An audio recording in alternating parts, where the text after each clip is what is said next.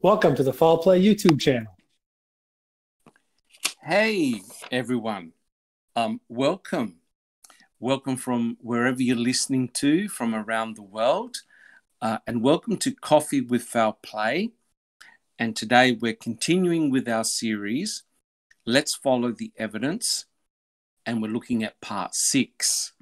Now, the purpose of doing the podcast, if you can recall, is that we're chronologically going through MAM 1 and we're looking at the case, how it unfolded. And of course, we're looking at both um, Brendan and Steven's cases. And as you'll see, that they uh, a, a lot of the times they intertwine. So, welcome everyone. Our regular researchers for today are Bibi, Big Jeff, Christy, Millbilly, and Zoe. And on chat today, we have both Lily and Sammy who will be uh, looking out for your questions. And please, we invite questions all the time. So if you've got to ask something, please do. We'll try and answer it during the podcast. And we appreciate all your input. Our guest researchers for today are Day Walker, and Obi Wan. And my name is Dr. Silkman. And before we start, all of us from Foul Play would like to thank all of our subscribers and our listeners to our channel. So far, we have 468 subscribers, and our videos have had over 49,000 views. So we'd like to thank everyone for your excellent participation and your comments. It's really fantastic uh, to get your input, and we hope that you are learning something all the time. Now, as you know, um, a week in this game, uh, a lot of things happen. Uh, one of the most significant events so far is the release of all these new photographs. Um, I think I think there are over 600 new ones uh, and they're really, really fascinating. And of course, um, some of the video, some of the uh, pictures that have been released uh, show different pictures of the RAV4, which is truly remarkable. So, guys, before we start the pro- podcast proper, um, Obi Wan, do you want to make any comments about the photographs that you've seen of the RAV4? Obi Wan. Sorry. Yeah, I looked at uh, a couple photos that were uh, taken of the front RAV, and uh, I'm trying to compare uh, the RAV4 that was on uh, Avery's property. Yes. Uh, which the um,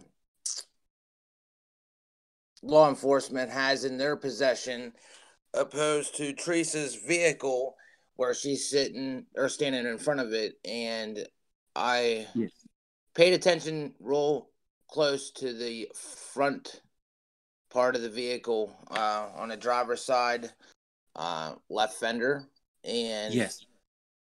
I kind of noticed some damage that was up there. And when I blew the photos up, uh, Millbilly and I, uh, and Daywalker, or not Daywalker, but it was, uh, uh, sorry, Jamie. Um, yes. Number plate. He pointed out this dent. He located a dent that we didn't know existed before. Well, it kind of got me thinking, and I'm wondering if that dent actually existed on both vehicles. So I blew blew up both images, and sure enough, I seen the damage on both vehicles. In my opinion, I pointed wow. out with color codes so you could tell which dent was where. Uh, in my opinion, it just it just seems like it is the actual Rav Four. The, both right. the one in possession and Teresa's is indeed the same Rav Four. Wow, that's a remarkable observation, Obi Wan. Um, Millbilly, Millbilly. Oh, sorry. One thing, uh, real quick. One yes, thing, real quick. Uh, Sammy should be sharing a link to where uh, the pictures that Obi is talking to in the chat. Yes, yes. Thank you very much, BB. Um, Millbilly, do you have any comments about the RAV4 pictures, the new ones? Uh, the one that are in that 466 photos. yes. Uh, it's got more questions than I had before now. Yes. Uh, has it changed your opinion on anything, Millbilly? No, uh, still thinking the same way I was as always. There's two cars. Yes. Okay. I- I'm trying to debunk it, but yes. Yeah. Uh, Uh, Big if I- Jeff, if I could- you have any yeah. comments? Yeah, I, I would I would invite everyone to uh, take a look at Millbilly's channels. There's going to be uh, there was a live last night. There, there's probably going to be another live tonight to talk about the uh, to talk about the RAM. I think it's a very interesting topic, and I'd like to thank the people who took the made the effort to get the pictures FOIA'd. Um, because Yes. that allows us that, that allows people to take a good long hard look at them and and that's what people are doing and hopefully that's the most rewarding thing that the uh, people actually ask for the FOIA could could ask for. Yes. Yes. Thank you very much, Big Jeff. Uh, Obi Wan, do you have any additional comments?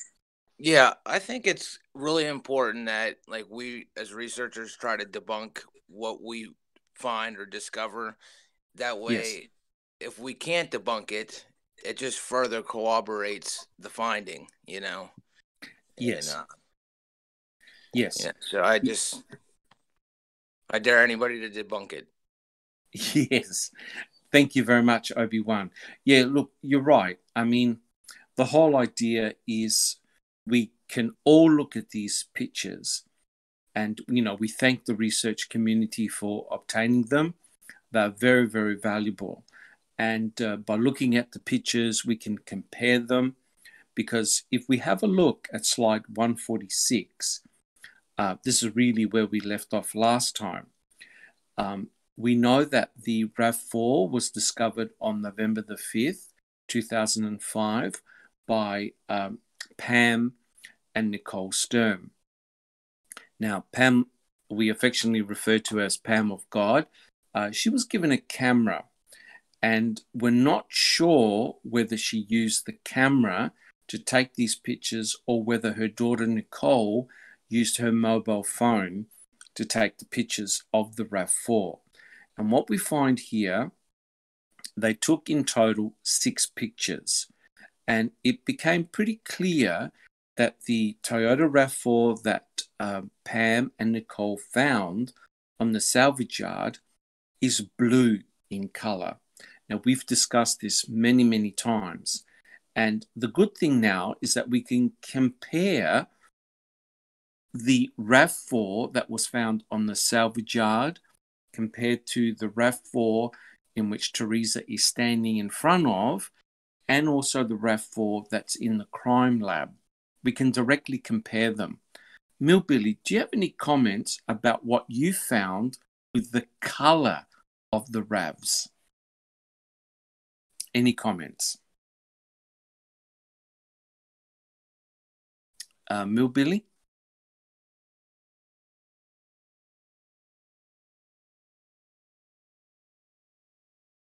Big Jeff. Uh, yeah, I can't hear Millbilly, although he appears to be unmuted. Uh, Oh, okay. Millbilly, is, is he ready? yeah. Okay, go ahead. Sorry. Well, uh, some it, the photos, the car looks green in some photos, and it looks completely blue in other photos. Yes. Yes. And- c- correct. The fact that we only have one evidence tag with that VIN number on it, and when that VIN number's on it, it says blue. Yes. Yes. Uh, Do Jeff. okay. Do Yeah. one thing we need: the title for her car. Right. Right. Uh, now there is uh, uh, Christy. Do you have a comment? I'm going to assume we'll never have access to the title. It doesn't exist that I know of. There was a lien holder on the vehicle, correct? Well, if there was, that means the bank would have it. Correct. That's what I'm saying. It was never released. It's nowhere for us to have it. Yes. And if the bank has it, you probably wouldn't get be able to get it without a court order. Right. But um, technically, do you guys believe that the RAV4 is still in lockup, or do you believe that the RAV4 is gone, crushed? It's gone. It's gone. Big Jeff? I, I certainly believe that, uh, that I, I still believe that there were two. Um, and Two uh, there was Yep. two two Ravs, and like Millbilly said, I, I think there was a, a green one and a blue one. I think they for for for, for some reason, Teresa's green Rav four was not suitable to be planted. Perhaps because uh, she had a car accident, and that's really how she died. Perhaps some other reason that I don't know what it is. yes. Um, but but uh, it would be very easy for them to manipulate um, what they took pictures of and be very careful that they didn't, you know, uh, show a picture of certainly both of them at the same time or one not the other. And it would be very easy for them with access to a salvage yard to take the one they didn't like, which was the green one, and crush Yes. it, and it's gone forever. So for sure, one of them is gone forever because they're not going to keep two hanging around. no, no. Um, uh, but the, the other one, I, I, I just tend to doubt it. The way that uh, they got rid of the bones, uh, they, they need to get rid of the RAV. Uh, They probably kept the panels. yes. Um, I, I would hope that they would it would be considered another violation of Stephen Stevens' rights if they got rid of the rear panel that contained sample A23. Um, Yes. But uh, I, I, you know, that that law seems to be up in the air right now. That's correct. There was um, there was some discussion uh, during the trial about uh, keeping um, certain pieces of evidence, and I believe it wasn't actually defined about keeping the entire RAV4. My understanding was that um, an agreement was made about keeping certain parts of the RAV4, potentially the panels. Uh, Millbilly, do you have a comment? Well, why do we have in some photos where they just take little cuts out of the seats Mm-hmm. and then they decide to go back and remove all of the seat? Yep, yep. The uh, what Why you not- find Why Yeah. why not just unbolt the seats from the car and remove the seats from the car? yep, That'd be Yeah. a lot easier than cutting the whole damn fabric off the seats. Yep.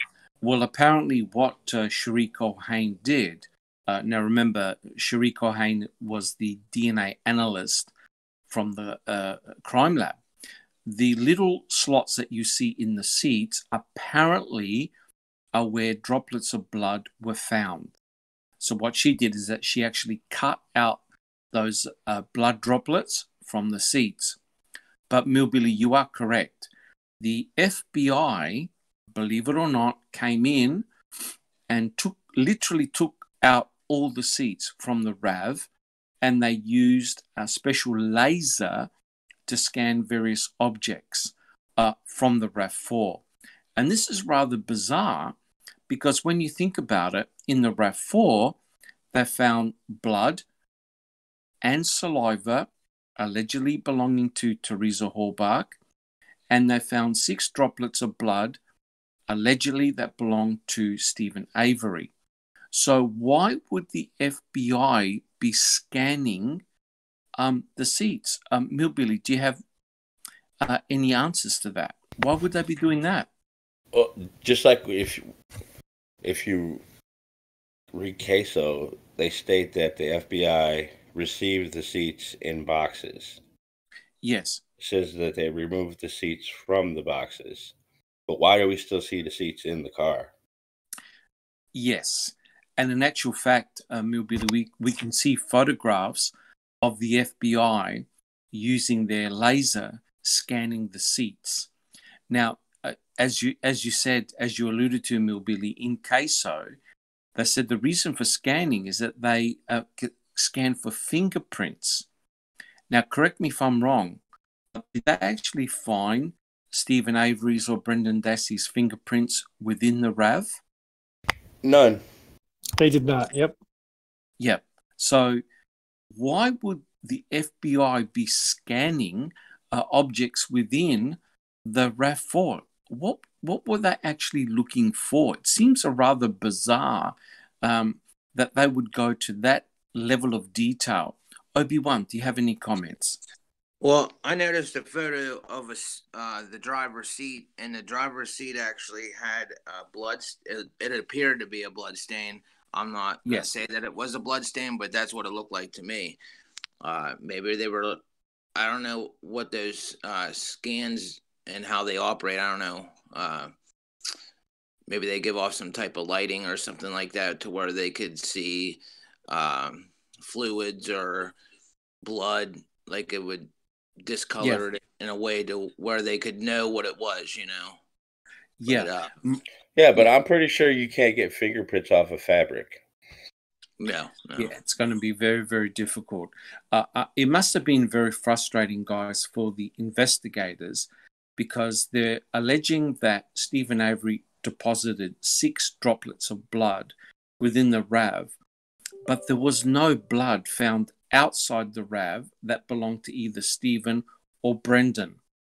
Furthermore, they didn't find any fingerprints within the RAV that belonged to either Steven or Brendan. So you have this crazy situation whereby you have six discrete blood drops or flakes. Remember, blood flakes were found within the RAV4 and nothing Yeah. else. Uh, BB, do you have any comments about that? No, just that I want to know how he bled flakes. That's a very good point. Uh, Billy, do you have a comment?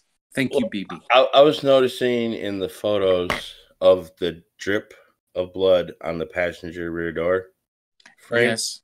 Yes. In one photo, you can see it's complete, and in other photos, it looks like they something like part of the blood's been chipped off. Uh, yeah. Um, Yeah, I do have an answer. Uh, most Baby. likely because uh, the car or the window would be like a very glassy like substance. Um, and when I did that experiment where I rehydrated my blood, basically, um, when I dripped it onto a porcelain plate, as it dried, it took very little vibration and it cracked into shards and like unstuck from the plate. And yeah, Yes. This was reconstituted blood. it wasn't even recon, it was just where I had dripped the initial blood and it was still drying. And as Yeah. it dried, I did get one that looked like the floor in the bathroom with the donut hole in the middle of the blood drop. One Yeah. that was a full dome drop of blood dried where there was no blood in the center of it. And Yeah. they just they started breaking apart. Uh, the cat stepped beside the the saucer onto my Yeah. computer and they broke apart just from that little of a vibration. So Yeah. any vibration that dried blood starts cracking and popping and Yeah. uh, yeah Yep. flaking off Uh, and yeah Yes. Thank thank you, BB. BB. Uh, Obi Wan. Yeah, I also did a test with my own blood for like seven days, and I seven days. Seven days, Yep. yes. And I dripped blood on a tile um, because I I wanted to give it the amount of, at least the amount of time that Teresa would have had, which would have been you know I mean uh, the thirty first till hmm at least the fifth when the vehicle was found. But Yeah. The state was contending that it came from when Steven had cut his finger. But that incident actually happened a couple weeks prior to Yes. this meeting with Teresa. So Yes. Steven would have had a couple weeks, had his, you know, I mean, it just doesn't work out to me. But Yes. I noticed that I was able to rehydrate this blood also. Yes. And back then, it was just a theory. Nobody knew that you could actually accomplish this, but it, it's actually true. You can. And Yes. the blood that was on the um, the uh, door uh, jam right there and the, the Yes. vehicle, those Yep. flakes, it appears that that may be where the dried flakes came from. Like if they Uh, chipped those dry flakes off, it, they could have used them to sprint because uh, Steven's blood was on top of Teresa's already dried blood without it even being mixed together. If Yeah. he was an active bleeder and there was blood in that vehicle, you would have seen a mixture of blood, and they can tell if there is a mixture of blood. Correct. Correct. Yeah. Good point, Obi Wan. Very For it good to be point. sitting on on the top there, it's just Yes. uh, very questionable. It- yeah, it is very, very unusual. Millbilly, do you have a comment? Well, Steven Avery, yes, he did initially cut himself weeks earlier, but he was constantly reopening his cut. Yes, And he reopened his cut the same night that Colborn talks to him. that's correct. And uh, when, yes, He he bled all over his car, all Yes, over his, all over his truck, yes, all, all over the snowmobile. And also inside his house. Yes. Yes. And, and it's remarkable. Thank you, Millbilly. It's remarkable because there are pictures that show uh, the droplets of his blood in his truck. And you can see that there's no flaking, the blood absorbed in the carpet. Now, realize that every carpet in every car is going to be slightly different. But it someone it, it does raise a very good point as to why the blood would flake and not absorb into the carpet. And uh, Obi Wan mentioned the fact that if you look at the uh, blood that's present in the, I think it's the rear passenger door side on the metal frame, it's highly flaked. It's highly flaked and it really, and dried out too. So it depends on when that photograph was actually taken. Daywalker, welcome. Yes, so it, it is very interesting. Uh, the other thing, of course, don't forget, guys, is that um, when the examiners looked at the RAV4 and they found the droplets of blood, what they what the analyst normally does is takes a swab first. So they uh, uh, test for phenolphthalein. It's a phenolphthalein test. The purpose of that is to test that the uh, stain is indeed blood because it turns a pink color. So they apply um, a sterile swab to the blood droplet. So, in effect, you're adding a solution to the blood droplet, you're diluting it. If the swab turns pink, it indicates the presence of blood. What the analyst does, for example, Sherry Culhane, she'll take a fresh swab and go back to the stain and take another sample or DNA analysis. So, in effect, what we're looking at is a blood stain that's been swabbed twice, right? Because if you look at the ignition, we've all seen the pictures where the uh, there's a streak that will that could well be due to swabs. Guys, does anyone have any comments about that? Big Jeff, do you have a comment? Uh, no, I'm good. Everyone's good? Beautiful. All right. So, guys, on our slide 146, uh, you can see pretty clear that the uh, there was plenty of sunlight when uh, Nicole took these photographs.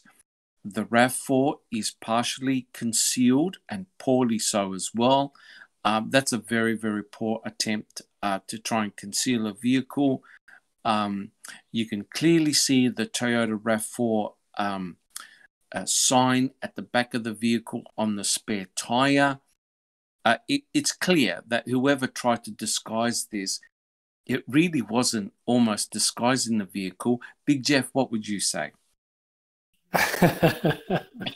uh, uh, it's it's very poorly disguised. number one, uh, my uh, number, number two, if I may uh, go back to a comment you made earlier about the possibility that uh, that Nicole Sturm used a cell phone camera to take the pictures. Yes. Uh, I don't I don't believe that the cell phone cameras of 2005 uh, had the resolution Yes. to take the take the pictures um, that we have, uh, especially the ones that Henberry released. Uh, Yes. just not just just that, that those were taken with a um, the A equivalent of a yeah digital camera that had decent resolution that probably at the time Yeah. cost four or five hundred dollars. right. um, and then, And, Yep. and, and my, my final comment with regard to how well is it disguised, uh, it's it's it's actually sort of interesting where it is. If you look at the pictures um, that were recently released, the location of the RAV is actually uh, in a very good spot, probably the best spot on the whole salvage yard, if you were Yes. trying to conceal it from an aerial search. Um, and that might be one of the reasons why they uh, why it was planted there because and they tried to put stuff on it to give it the appearance they were trying to hide it from the from the, from the aerial search as if they were more concerned about a search from the air as they were uh, a search from the ground. Yes, yeah, very good point. Thank you, Big Jeff. BB, do you have a comment? I I would say not disguise, but neon sign. Yeah, it appears to be that way. Because uh, if you're walking through that yes. junkyard, all that crap up against it, you would immediately notice stick out like a sore thumb. Yeah. Yeah, because it's the only vehicle in the whole junkyard right. that's got all these components yes. and bits and pieces um, attached to the RAV4. But it's interesting because you've got a hood of a vehicle on the side of the RAV4. Why not put it at the back to disguise the fact that well, it's got RAV4 Toyota on the spare tire? And isn't the hood even on the far side of it? So, like, yes, it is. It's not even on the junkyard side. It's on the the yes. quarry side. Yeah. Yeah, which is which is rather bizarre. Christy, do you have a comment? It's more of an X marks the spot than a hiding spot. Yeah, yeah, and thank thank you, Christy. And we all know that um, Pam and Nicole Sturm found that Rav Four uh, in record time. So the only other comment I want to make is um, it is very interesting that the um, glass on the driver's side um, is clear. And we know that Pam Sturm herself was a private investigator with more than nine years of experience. And we all know we've been through this many times. It's remarkable that no one at the salvage yard had noted any blood anywhere. But my final comment is if you look at CASO, there is mentioning of investigators and uh, other law enforcement detecting droplets of blood in other vehicles on the salvage yard. So blood was noted in other vehicles. Obi Wan, do you have a comment?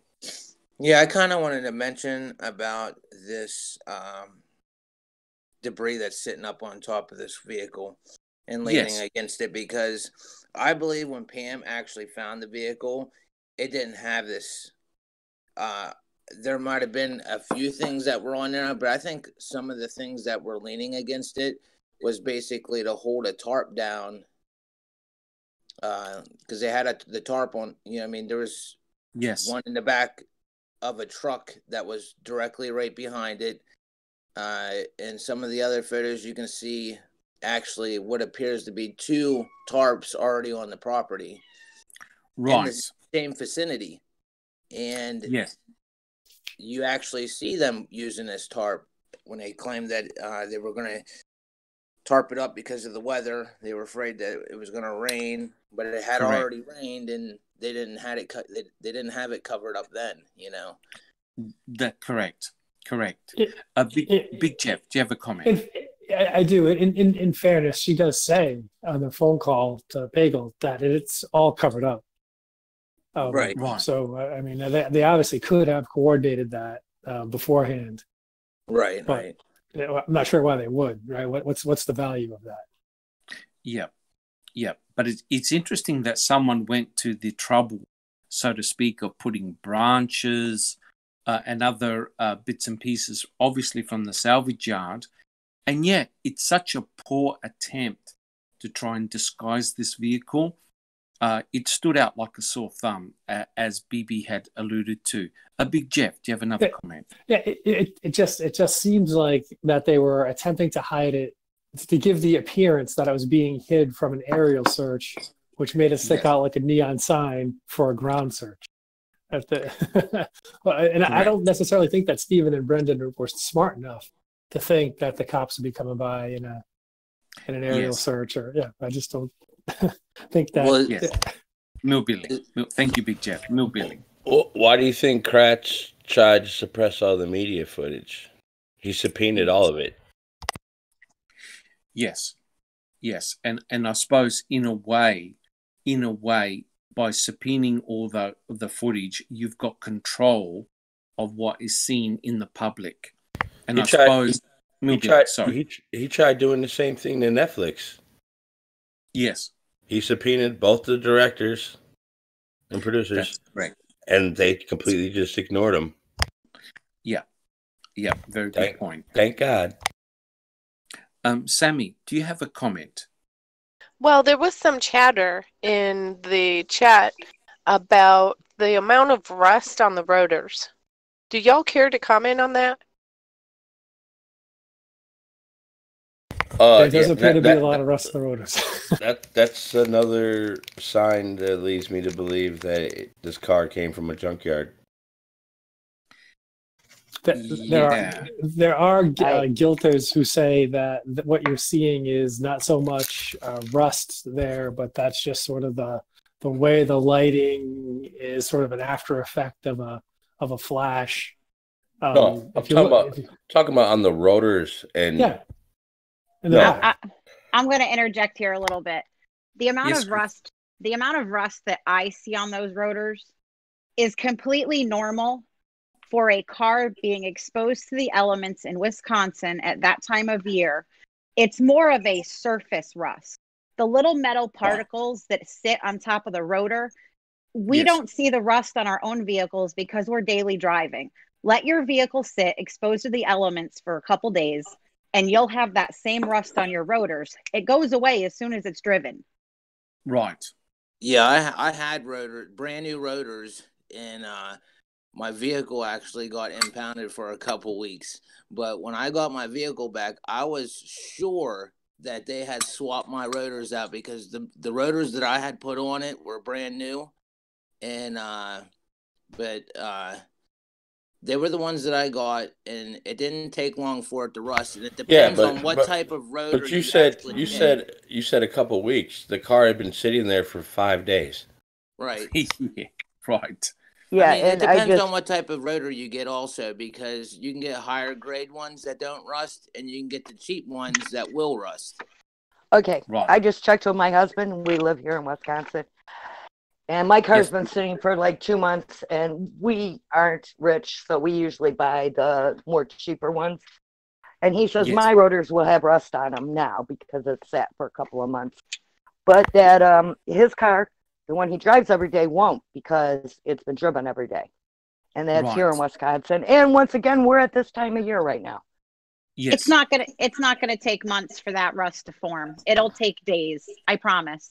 Days. Right. The rust So will start to form in days. So it's more like an oxidation process that's taking place with the metal. Correct. It's just And it turning sounds like it sounds like the quality of the rotor would matter as well. correct. The the Yes. quality, the age. It, it- there's a lot of factors. It is completely feasible for those rotors to have that rust appearance after several days of not being driven. So Thank you so much. You're Yeah. welcome. So, so really, so really, just exposure to the elements would do something like that. Correct. Right. Uh, Millbilly, do you want to make do you want to make a comment in regards to the new photos that have been released in terms of like we can actually see the engine bay now? Yes. Right. What what can you tell me? Do you have any comments about the age of those components that you see in the engine bay? Well, I really haven't been looking at the components in the engine. I've just been analyzing the VIN on the firewall, Yes. and I've been all over the interior photos, comparing with the other photos. Something's not right. Like, for instance, they state that they removed the front drive shaft. The car does not have a front drive shaft, it has axles. But somebody disconnected the rear drive shaft because we see it in new yeah. photos. It's being Yes. held up by a bungee. Yes, you can actually see it hanging down as well. Um, yeah, I mean, what what struck me was the very poor condition of the vehicle. Uh, that's rather remarkable, considering that um, Teresa Halbach was meant to be a professional photographer, and of course, image is everything. That car looks like it's been either sitting in a salvage yard for quite a while or it's been driven through some very rough terrain. And Um, the way the way that yeah. Tom Pearce talks about how about that car and her, How Yes. she was so proud. It was the very first car that she purchased herself. Yes. And oh, why is there so much missing? The the interior panels, the center console cover. Uh, how does the carpet in the back? How does the carpet in the back come untucked? Yes. It wouldn't unless you took that panel off. Yes. A- and also, Big Jeff mentioned the fact that you've got the blinker light that's obviously been smashed and the front fender. It hit something with a lot of velocity and force because the actual blinker light popped out. BB, do you have a comment? It, well, if the car was on a loan still, and she was making payments on it, technically the condition that car's in, it would be underwater. Uh, they call it gap. You need gap insurance now when you buy a car besides your regular insurance because if your car gets ran down looking, you might still owe more on it than the car's actually worth. Right. Okay. Yeah. And the con- and the condition of the vehicle looks pretty rough, which is Right. rather remarkable that she's met the the interesting thing here, guys, is that um, everyone who was asked about the car said that the car looked shiny and new and in good condition. Obi Wan, do you have a comment? Yeah, I wanted to talk about the bumper and the damage that was on there, Of Uh, course. and the side damage that I had. I uh, well, we seen.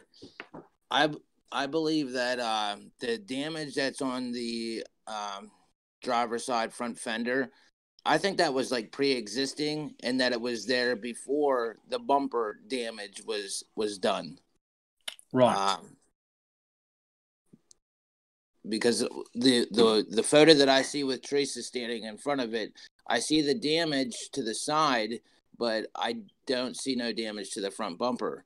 And then when you Yes. get it onto Avery's property or you get it onto uh, Calumet's property while it's in their possession, you- I mean, you have Yeah. the front damage, so it has to be a pre-existing damage from what I'm looking at.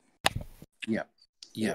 Uh, Mill, thank you, Obi Wan. Millbilly, do you have a comment? Well, if there's really nothing shady going on, why in CASO does it state that at five o'clock Leslie Lemieux was Mhm. contacted about the missing person? Why don't they stay at two thirty-seven p.m. Karen Halbach reported her daughter missing. Blah blah blah blah. No, they don't say that at all. They completely leave that out. Yeah. So why And- why why do you think that's the case, Millbilly?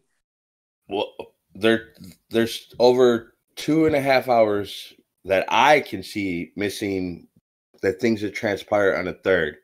And there's a Yes. reason for that because they're trying to hide something. Yes. Yes. I mean, you, you look at the search warrant that Mark Wiegert submitted to the judge. He states that Karen Halbach reported her daughter missing at 5 p.m. That's a lie. Yes. he also yes. goes on to say that when she reported her missing, the car is dark blue. That's a lie too. Yes. And Yes. there's another document in the state of Wisconsin versus Steven Avery, which states the same thing. So we got two documents lies. Yes. There's no no doubt. Uh, BB, do you have a comment? Thank you, Milby. Yeah. Uh, also in um the interview where they interview Chuck Avery, they're talking about well, you got to chop a car to crush it, which all he says is you don't have to take the engine out, you just have to take the wheels, the battery, and preferably the gas tank. But he also implies you don't even have to do that. You don't have to do any uh, of that. You want to do all that if you don't want to get fined. And Right. and and they also keep telling him, well, if that car was in the bay getting the wheels taken off it or whatever, getting prepared to be crushed, it was in really good condition. Wouldn't somebody have questioned why it was Sure. in there to get ready to get crushed? They kept saying how good of condition. No, this car was in really good condition. Yes. Yeah. Something doesn't make any sense here. A big. Thank you, BB. Big Jeff, do you have a comment? Yeah, my favorite document is the one uh, that from Manitowoc County where they have the RAV uh, taken into custody on uh, the third of November, and Teresa Halbach listing it listed as kidnapped. Ask you Where did that come from? If there's no funny business, And it's listed as dark green. yeah, and I think Remiker is the one that entered that info in their CAD system. Right. Okay. Um, and then there's another document that I've seen, a dot document, in which it says that the car is um, Mystic Teal Mica. So we've got some real funny business going on here, in which all the initial reports uh, mention a dark green RAV4. Suddenly, uh, when uh, Pam of God finds the RAV4, she's taken aback because it's definitely not dark green, it's blue. And I think she was trying to give a cryptic message to Pagel uh, about finding this particular car that clearly was not dark green. And then Millbilly, I think you alluded to the fact that all of a sudden the car went from dark green to blue. Yeah. So to keep everything consistent. Yeah. Pam Pam God's the first one to question the color. Yes. And then when they talked to Bobby Dassey on the fifth, same day, he says Yes. it's a Honda CRV and it's bluish green. Yes, yes. And in actual fact, if you have a look at the testimonies, uh, Kratz got so confused that when he was talking to, I believe it was Bobby, he, he mentioned, uh, oh, and did you see a green, blue, blue, green, uh, teal car? So even he didn't know what color the car was meant to be, um, which was rather interesting. Millbilly. And you can follow in the trial transcripts the car slowly changes from being bluish green to straight blue. Yes, yes. But in one of the CASO reports, I'm not sure whether it was Tyson, he had mentioned green about eight times. So he was looking looking at the uh, Toyota Rav4. Yeah, even in the So- case report, the, the Yes. officer the officers state that they're stationed to stand in front of the green vehicle. Correct, correct. So how how does it go from being green to blue? Well, why why would her parents put out a false report of a color? It's all over the news. They have flyers printed. Correct. Correct. And in actual fact, they've even got um, a video footage of a similar type of vehicle that's clearly looks dark green in color. So maybe it would be interesting if people had actually seen uh, the real Toyota RAV4 but never reported it because it was blue And, and, techni- and technically, her mom doesn't say Toyota Rav Four. She just says Toyota Rav. Because That's correct. the Ravs were called Ravs until the Rav Four came out. The Rav Four is because it's a four door now. That's where the four Correct. comes into play. Yeah, correct. BB, do you have a comment? Um, yeah, I, I think it got covered though, so I'm good. Right. Okay then. Well, look, guys. I think. uh, I think. Um, oh, Obi Wan, do you have a quick comment? I don't know if this is true or not, but I actually did see this. Uh, somebody had uh, searched the uh, Teresa's VIN number to see uh, what it was registered, what what the vehicle was registered to, and Yes. what I saw was it said a Toyota 4Runner. Right. Oh, So- and also, also it was um the older brother, Tim, that helped make up the flyer. Right. So it's not only the Okay. mother saying it's green, it's the older brother too. Why is the flyer dated for the second? Yeah, that too. Yeah. Yeah. Uh, to me, it indicates. I hate to say it, but it indicates foreknowledge, um, and also of a big setup. Uh, my own personal feelings now is that there are at least two different RAV4s. Uh, and the way I resolve this, I believe that what we have is a hybrid RAV4. That is, it's got some parts of Teresa's original vehicle and a stand in vehicle. What I believe is the original uh, vehicle are the internal panels um, containing Teresa's blood, or in this case, the victim's blood. You can't explain the carpet. You can't explain why the carpet in the vehicle at the back is so clean yet you can clearly see blood on one of the panels. And Millbilly, correct me if I'm wrong, but it appears that someone has gone through that RAV and unbolted panels and taken it apart. Yeah, like the the the things that are missing are the things that would be taken off a car in a junkyard first. Yes. Like the, the the rear cover panels, the center console hatch. yes. I mean, Yeah. I, I don't know.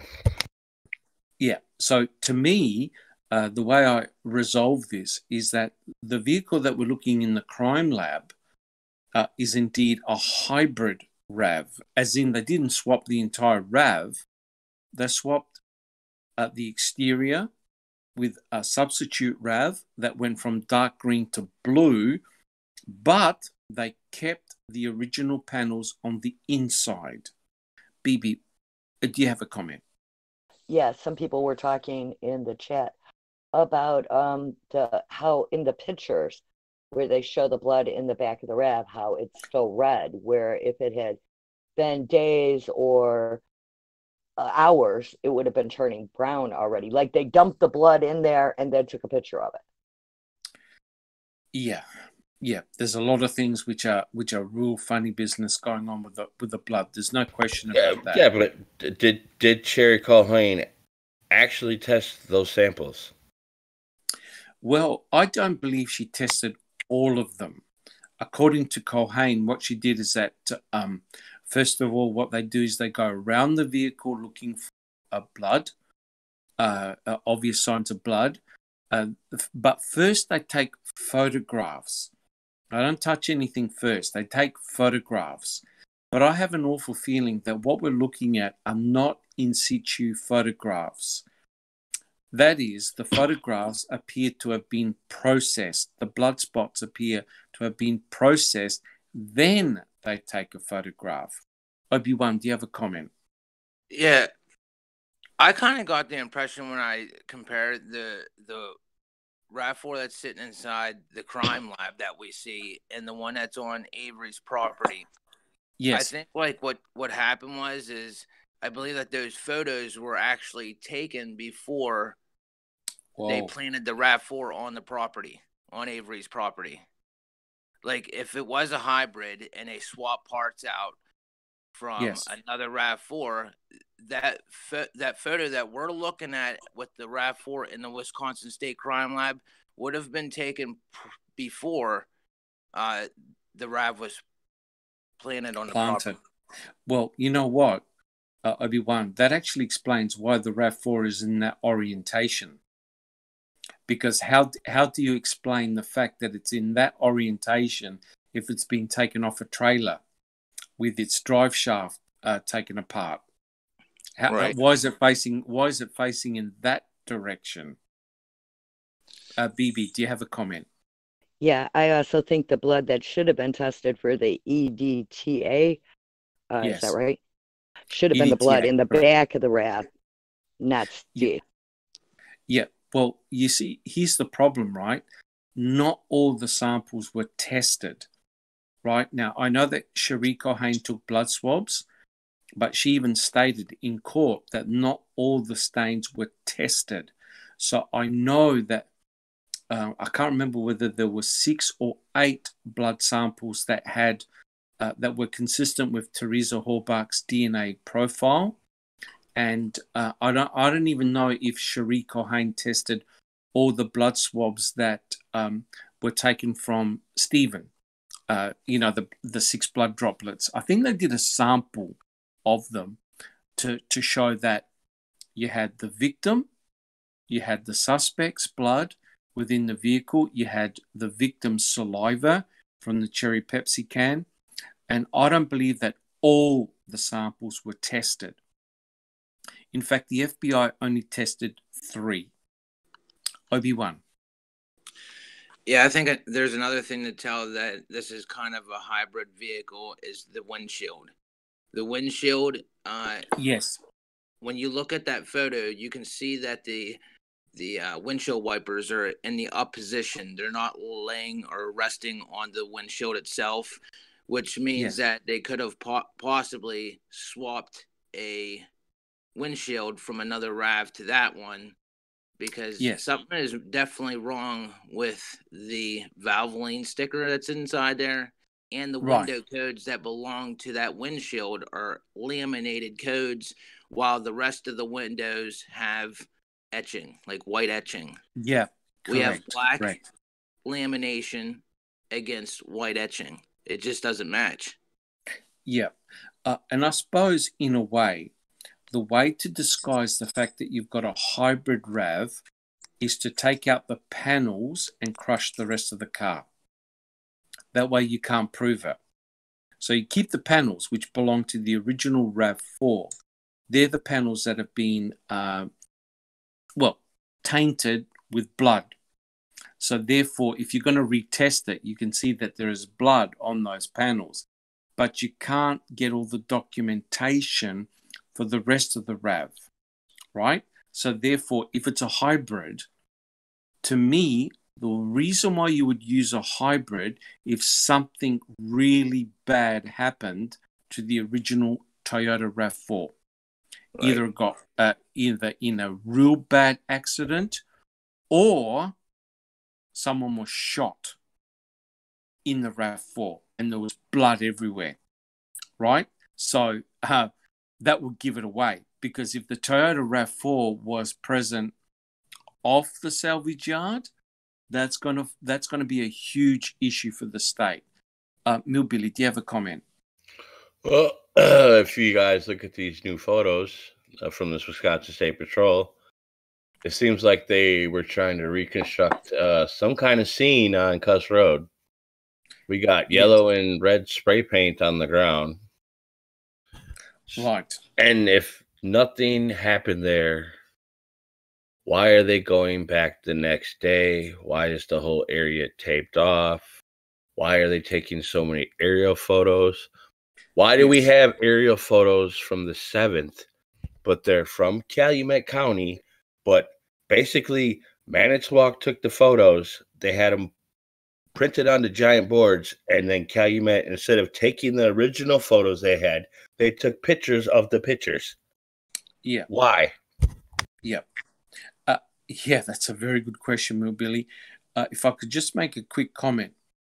To me, the new photographs that we see revealed how important Kuss Road Deer Camp actually was. Because it's quite clear that a helicopter's been flying above just about all day, taking uh, aerial pictures, and a surveillance team took measurements of that entire area. So it had to have meant that something of significance took place. No one's going to do all that work for just a tree stump, right? It's you know it's rather a real bad excuse that uh, was given uh, in in court that oh look there was nothing there to be seen. And normally, what happens in Australia, if there's an accident or a vehicle's been abandoned or whatever, they do use spray paint on the asphalt Well, to if mark you where the vehicle is. if you read case if you read CASO, they completely d- downplay Kuss Road at all. Uh, correct. There's like maybe three pages, Yeah. Yes, correct. and if Correct. you read the Manitowoc summary report, they don't even mention Kuss Road. They mention White Cedar, which is a street right off Yeah. of Kuss Road. Correct. So they're definitely hiding something, and it's for a reason. Oh, there's there's no doubt. The new the new pictures for me crystallize that something of significance took place, and you can now clearly see uh, how they uh, did roadblocks using patrol cars. They made sure that nobody came in, nobody came out, and there's a huge amount of crime scene tape. Uh, and I think, um, even though we're not going to discuss it right now, but it appears that um, light towers uh, were erected around the uh, dig site, right? And so, no Yeah. one's going to do that. You- no you one's going to do that. Milby, You do you have a you can see in the photos they have a total of eight lights. Right. And at one point, you see they got four on the side of the road and four by the dig site. And other Correct. photos, they move the, the lights by the dig site and place them by the other ones because it goes from there being four lights there to eight. Yes. Yes. Uh, and also the photos are quite revealing because there there are night shots and you can see that the whole area where the dig site is is really brightly illuminated. Yeah. Well, that's that was the early morning. They started taking Okay. photos at six something in the morning. We're in the air till about nine p.m. or nine a.m. They're in the air for about three hours. Right. So we have Okay. three hours worth of photos.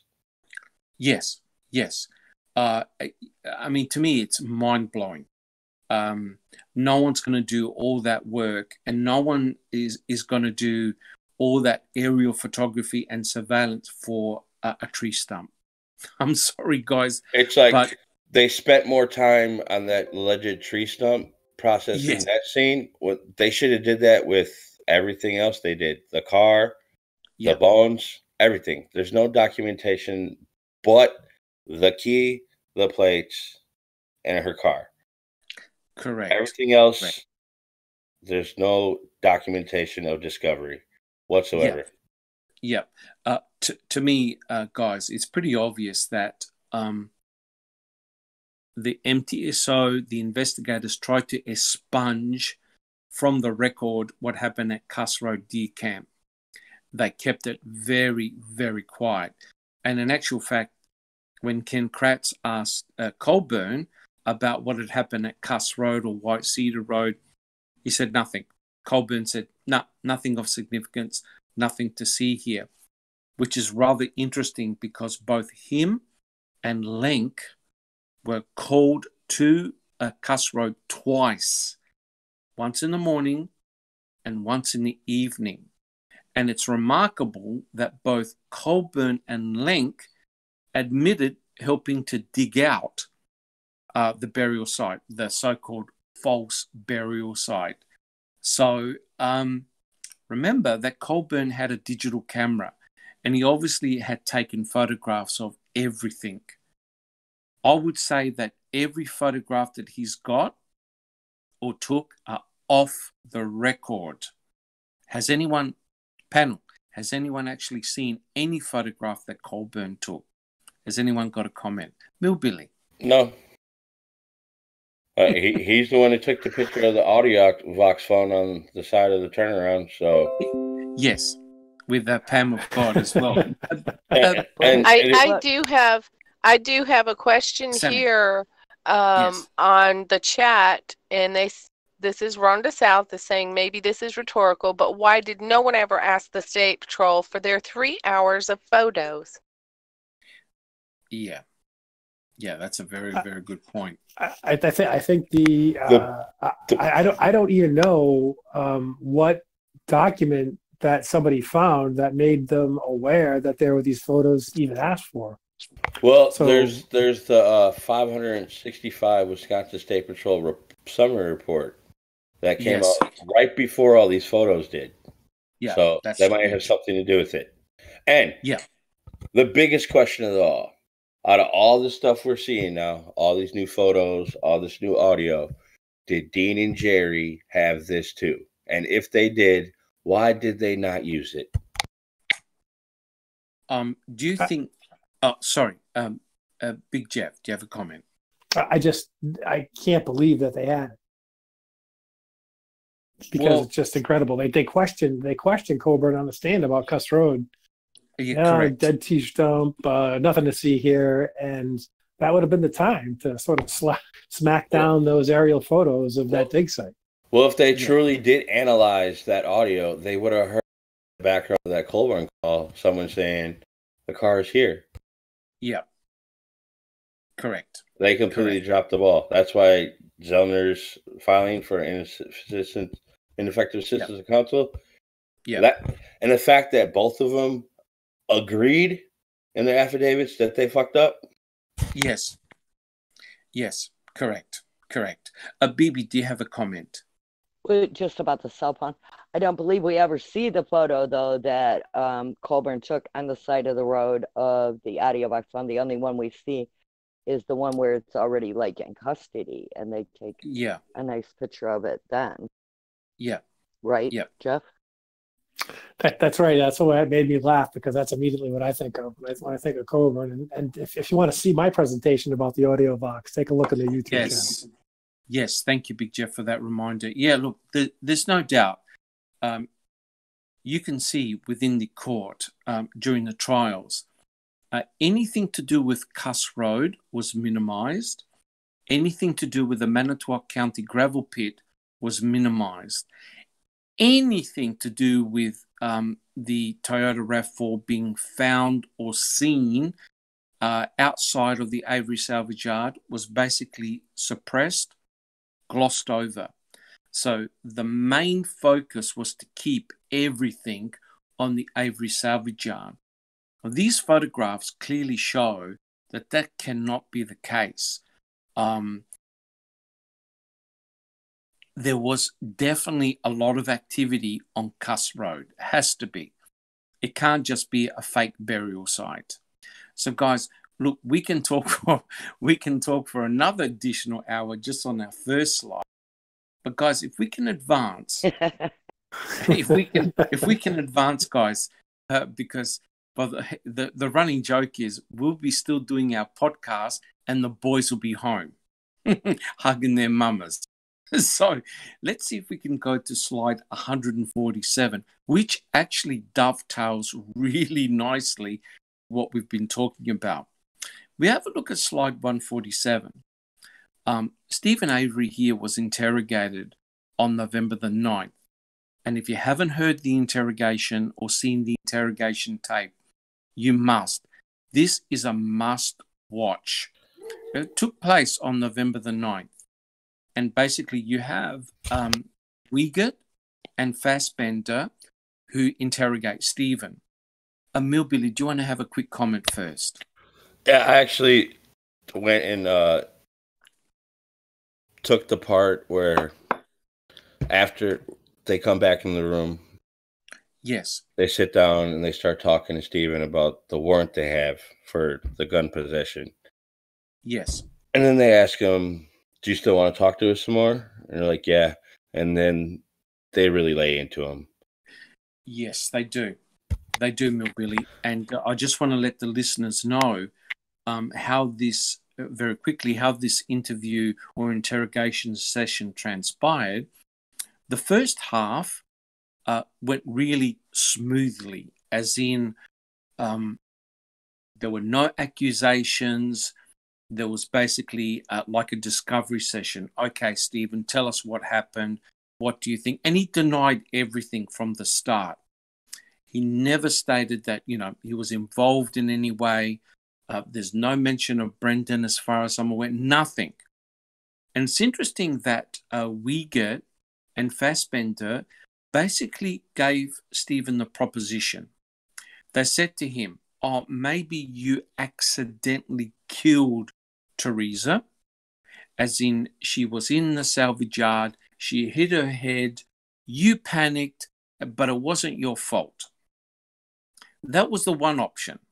The other option, and Steven said, Of course, that didn't happen. That didn't happen. Uh, and then they said to him, Oh, so you're a cold blooded killer then? Which one is it? You accidentally killed her. And believe it or not, Fassbender and Wiegert said, We will understand if that's what happened to her. Right? So you can imagine the scenario. you can imagine the scenario, guys, of uh, yes, um, Teresa Halbach fell down, hit her head on the rock. I panicked. So what I did with my nephew, we raped her, we shot her 10 or 11 times, we cut her up into pieces, we put her in the RAV, we took her out of the RAV, and we cremated her and we spread her bones. Do you still believe me it was an accident? Well, well, that in the crux of things right there is the beginning of the Reid technique. yes, yes. So with with with the Reid technique, they give you two options. They give you options. They give you an out clause. So the interrogators, uh, Wiegert and Fassbender, were quite happy for for Steven to say, "Look, guys, I'm very sorry.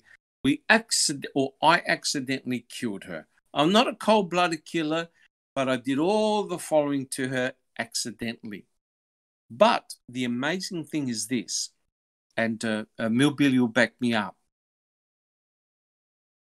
Things turned nasty the moment Steven said that he'd spoken to Tammy Weber. Millbilly, do you want to take it over from here? Yeah. he he mentions that he heard the car was planted. They ask who. He tells them Tammy Weaver is the one that informed him of that. They immediately Yes. they immediately walk out the room. Who is Tammy Weaver? Uh it's uh a friend of the family. Yes. And as soon as they come back in, it's it's like they were delaying them the whole time to get the warrant for his arrest. Because they don't mention anything about that until they come back in the room. And then Fassbender says, Well, we have the warrant. Do you want to see it right here? And then he hands Yeah. it to him. And then they just like they start off by saying, Well, we found bones. And then they don't Yes. mention bones anymore. From their point on, they mention a body, a body, body. a body, Yeah. a body. The the dogs took us to where the body was. The dogs took us where the plates were. Yep. Yep. Uh, what I wanted to point out uh, is the complete contrast when they come back in, when they came back into the room. They hone into Steven big time and throw all sorts of accusations his way, including by saying, oh, What is your DNA doing in her Yep. car? And he This even is stuff- says, he even says, Yes. well, Manitowoc's planting and everything. You guys are finding it. yeah. yeah, yeah. Uh, Big Jeff, do you have a comment? well, I think you were probably getting to it, but they ask him, uh, what, what is her DNA doing in your house? Correct. And of course, was there any of her DNA found in his house? No. No. And then they say they they found a bloody palm print, and he was like, "Bloody palm print? What are you talking about?" Yes. Yes. So, with the Reid technique, uh, the investigators are allowed to lie. So, there's no hassles at all. From their part, they're allowed to throw any type of lie towards you in order to entrap you, in order for you to uh, do a confession. So, Mark Wiegert said, you know, what's your DNA doing in her car? This is one day before they actually tested it. Right? So, uh, Wiegert was throwing all sorts of accusations. But credit to Steven, the way he behaved, he completely had no idea what they were talking about.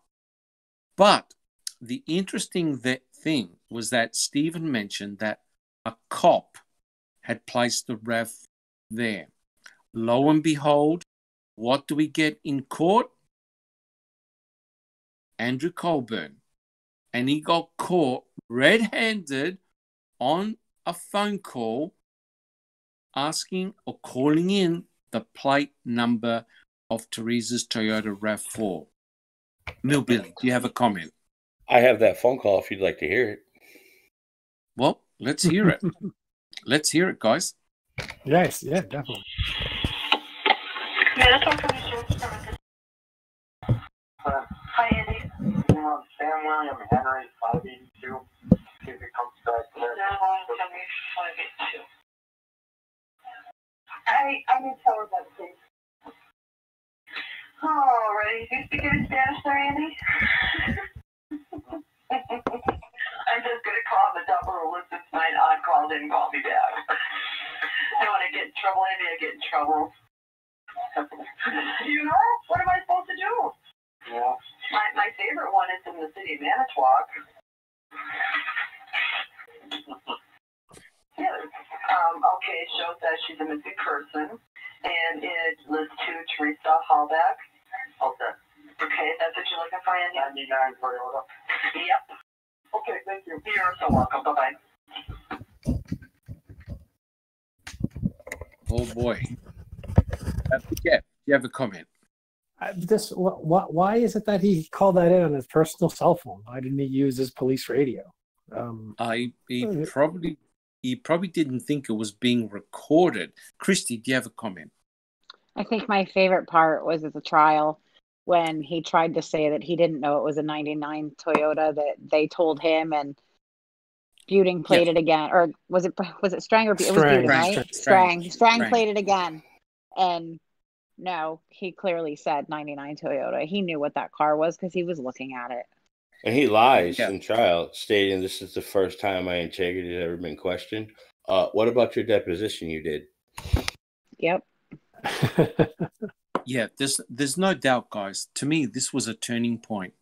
He lied. He directly lied in court. He knew he got caught out because you can tell by his body language, and he cracked his knuckles and he looked down and he turned red. He got caught, uh, and we're talking about calling in the plates on November the third, which is the same date that's in the report. Is that right, uh, Millbilly? The Yeah. third. Yeah, And the, Manit- the the. The Manitowoc Summer has her car as a 99 dark green RAV Toyota, and it's in their custody, and she's Yes. listed as kidnapped. Well, that actually raises a very important po- point. And the fact there is, they obviously didn't find her body in the car. If they said kidnapped, that means she's missing. They may Well- have found the vehicle, but they didn't find her. Well, as soon as they find her car, you got Jacobs one saying, "Do we have a body yet?" And then, Yeah. "Do we Yeah. have Steven Avery in custody?" Yeah. And then when they call Link to notify him that they found the car on the property, his first thing he says, "Well, if the car's there, she's got to be there somewhere." Yeah, correct, correct. Big Jeff, do you have a comment? Uh, yeah, I, I do. I just uh, find it interesting that um, you know if if if indeed that this is uh, the case where they found the car, didn't find her, but listed her as kidnapped. Kidnapped. Wouldn't you think that you know uh, if if this were just say a car, for example, that they found at the airport locked, they wouldn't list anybody kidnapped. Mean, she could be hightailing it out of there. Even if they found Uh, it anywhere correct. locked but in good condition, you still can't make that call as to whether she was going to be a missing person or, or, or whether she had just kind of gone off with somebody else. If now, but if there was damage to the car, right? If uh, maybe the, the the windshield was broken, and it had signs of being in a car accident, or uh, Yeah. some signs that she had actually you know, a foul play that she had been, uh, you know, Yeah. kidnapped. That's when they would, and, and wouldn't wouldn't that um, be a reason why they'd have to potentially introduce another Rav Four because there was Correct. too much forensic evidence or too much damage to the car to be able to use the one um, that they found. Yes, correct. I, I 100% agree with you. Uh, BB, do you have a comment? Yeah, um, Millbilly. Um, what's that bit about? Do you speak Spanish, Andy, in that phone call? Uh, I think she's just referring to a call she might have got. Oh, because uh, before people were saying that he could call it the Spanish line. No, there's no Spanish line. There's Okay. two. There's two lines to Manitowoc Dispatch. Two phone numbers. Right. And then she said that bit about I don't want to get in trouble. It was kind of weird. But you know. it, it, if you listen to the dispatch audio and transmission for the third for Manitowoc, Colborn does in fact have them run a plate. The dispatcher states that you know he does this over the radio. And she tells me, I got that plate info for you, Andy. He tells her to hold it. You want to it spell it? Now, when Remiker asks, does Andy know what that plate info came back to? Is he referring to that plate that he called in over the radio or the plate that he called in on the phone? Right.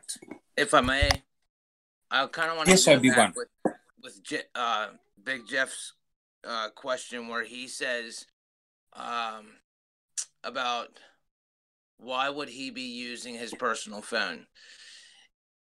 The reason why he would be using his personal phone is because if there was bystanders around, which we know that he was con- uh, Colborn was contacted by Konecki.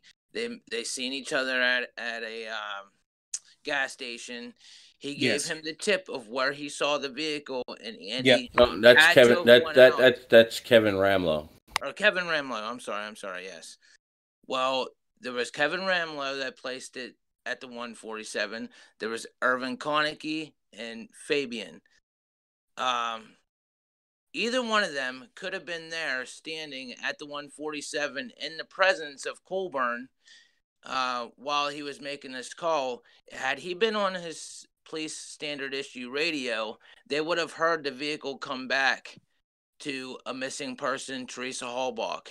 If Colborn wanted this information withheld from anybody standing around, he would have used his personal phone so only he heard Okay. uh, Well- who the plate would have came back to. Answer good me point. this. Answer me this. Why is it that we hear him running to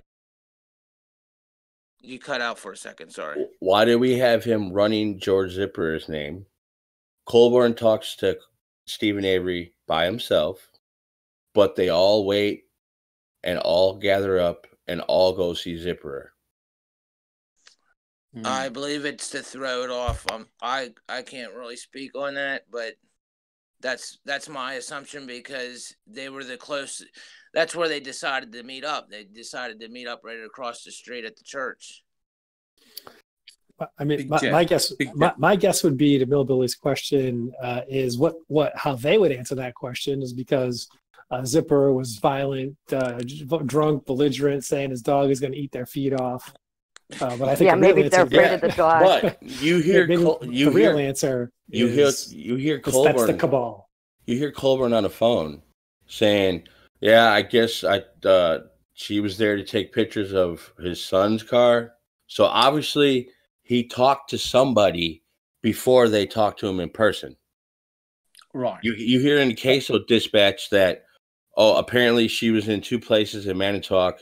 One of them being Steven Avery. I guess that's her her friend, and the other one is George Zipperer. But I guess he got an attorney. Dietering is on his way out there to talk to him. yes. I think the real reason is probably that Colborn found the rab and they needed more than one person to hide it, right? Yeah, yeah. But if we if we're talking about a hybrid Rav, whatever he found, it must have been damaged in some way, right? And clearly, he didn't find he didn't find Teresa Halbach's body.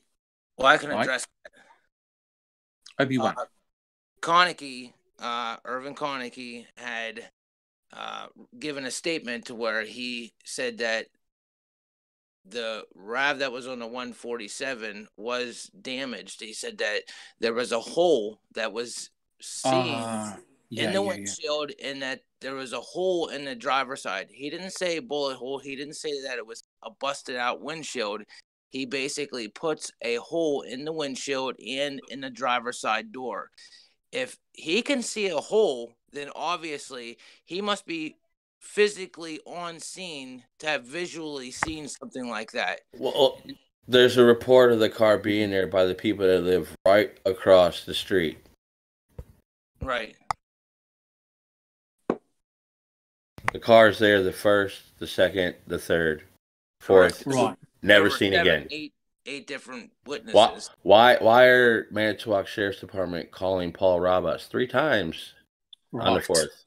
And this is after Colborn's call. Why is Paul Midnight. Rabas After midnight. there as a fire chief? Who And is it Paul comes- Robus? The Maribel Fire Chief slash he also owns a, a body shop and tow company. Right. Yep. Yep. And this And- is five hours after Colburn makes this call. Right. So, I mean, to me, it's pretty obvious that there's really good, strong evidence that the Toyota RAV4 was found off the Avery salvage yard. There's no, there's no question about that. And Colborn lied. He perjured himself on the stand. He had to have. He had to have. So the question is this: When did the plan hatch to frame Steve Avery? Panel, any idea? As soon as Wiegert called Colborn. Right. As soon as he got out Yeah. of jail. No, I think soon- before he got out of jail, I think before he got out of jail, well, it took him a year to test that hair. Yep, Right. me too. I Well, I agree. believe, I think I it all it happened. started. It all started September of 04. well, I With believe the that fire.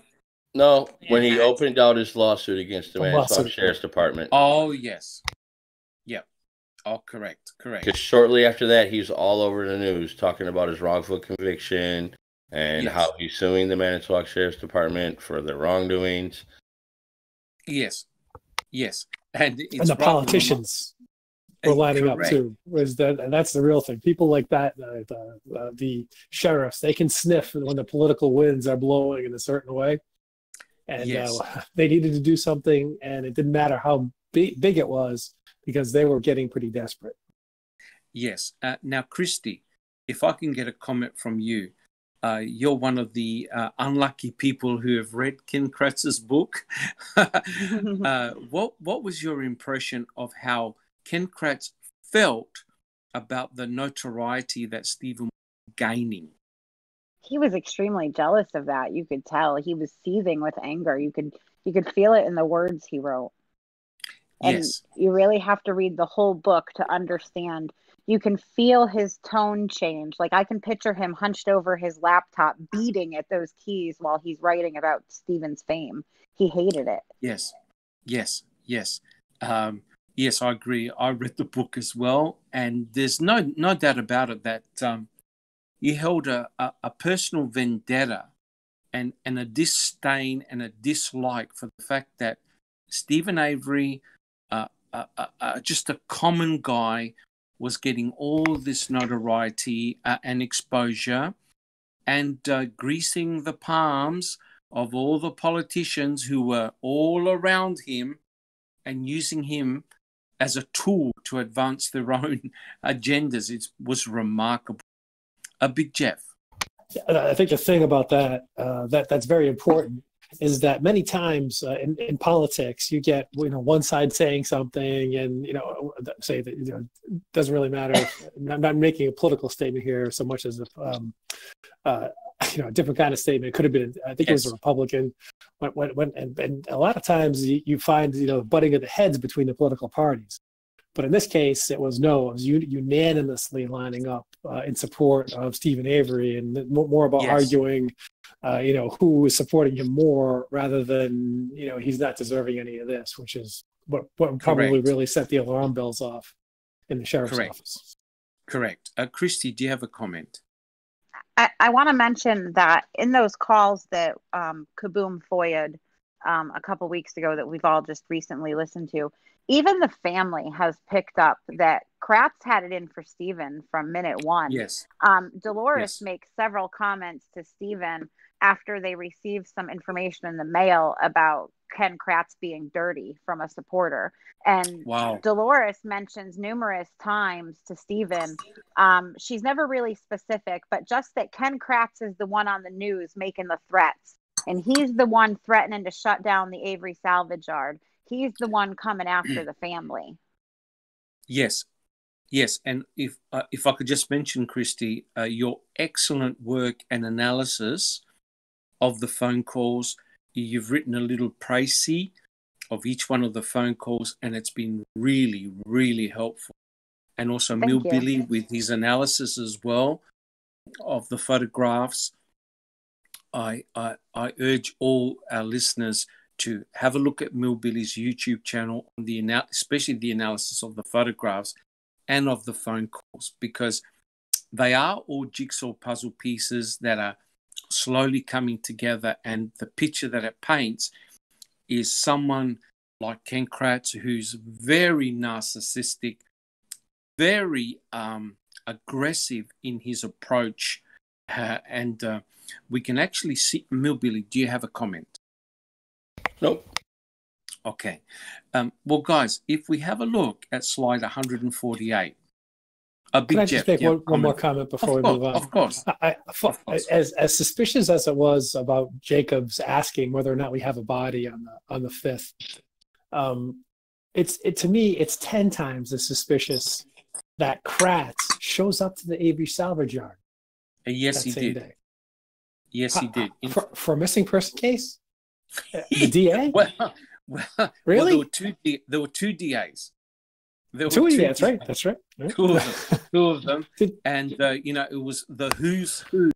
was Michael present. Griesbach. Yeah. Yes. Did, did he did he show up for uh, Christine Rudy uh, disappearance? Uh, no. Wrong county, It but no, no. yeah, idea. Un- Could, could get anybody to show up for her. Correct. Yeah, correct. It was um, a, a very, very bizarre set of circumstances. Like whoever who was who's who showed up at the Avery salvage yard. Uh, BB, do you have a quick comment? Two different shit shows, one in one direction and one in the opposite. Christine Rudy, nobody shows up. Teresa Halbach, everybody shows up. Yeah, they did. They did. Uh, Christy, do you have a comment? Not only did he show up at the Avery salvage yard, but in his own words, in his own book, does he tell us about how Mark Wiegert was sitting in his office. Oh yes. Obviously, if if Mark Wiegert is sitting across uh, across the desk from Ken Kratz, it's before the end of business. So if she's Yes. called, if if Karen Halbach reported her missing at, let me see if I've got it right now, two thirty seven. Yeah. How and why is how and why do we have a special prosecutor already involved? Mark Wiegert has a, in Ken Kratz's own words, a pretty much I, I forget how he describes Mark Wiegert's face, but there's a Yes. look on Mark Wiegert's face saying, "And you're never gonna guess where she was today or where she was last seen." Avery Yes. Salvage Yard, the Yes. Steven Avery. Like Yep. it's a big deal. Yeah. In in actual fact, Christy, that's that's the only new thing that I got from his book. What- less the- than what- three hours after she's reported missing Oh, he's yeah. in a he's in a district attorney's office Correct. why why Well, they're just like kids at a candy store, right? Mm-hmm. that's exactly what the- it was that- They've hit they've hit the jackpot, and that's it's sort exactly of like what happened Well, Yeah. Oh, that sounds like a lie. That that time sounds like a lie too, doesn't it? I mean, they, because because Wiegert didn't go to the house until later than that. Yep. It, it would have taken time to get back Yeah, Well, and and, that- to get the. and if you listen to dispatch, he's really nowhere on there. All you hear is Leslie Mew for you hear Mark Wiegert asking them to run a Bobby Brown name, and then he, they have him calling requesting Jeremy Hawkins. Then he Yes. calls and requests John Dietering.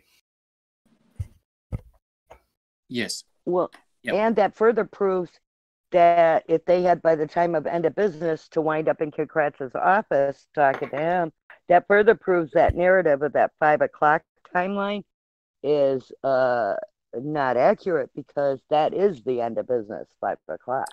So if Yeah. how, how if, if Karen didn't call her in until five p.m., then he wouldn't have had Yeah. time to get to his office while he was still in. And another thing that's strange, we got Leslie Lemieux calling dispatch to run her plate info to see if she's have any traffic spots or tickets or Right. anything. Yeah. And in one minute after she run does that, we got Scott Blodorn calling Calumet Dispatch looking for Leslie Lemieux because he found that plate info she needed. right. But she called right before that with the plate info. So where did she get it from if he was trying to give it to her? Yeah, yeah, it's pretty bizarre. Uh, well, you could see by the response. The response was rapid, quick, and targeted from the get go. Right? Uh, it's pretty obvious that all the fingers pointed at one person and one person only. The guy who happened to have a $36 million civil lawsuit, bang, they all descended on him. So, guys, uh, I'm conscious of the time and the fact that we're still on slide three. But if we have, if we have a look at slide, if we have a look at slide 148. Now we know, of course, that uh, Brendan, um, Brendan Dassey, the the nephew of Steven, had implicated himself, uh, being involved in, in the in the crime, and uh, the the the um, the media were pretty cluey because don't forget, uh, Ken Kratz gave a conference in which he basically outlined a, a horrific narrative of what both Brendan and Steven had done allegedly to Teresa Halbach. And if we look at slide 148, a really big important question was asked, and I'll read it out. Is there any DNA evidence backing up the kid's story? Right? And Ken Kratz, he was very elusive uh, in providing an answer.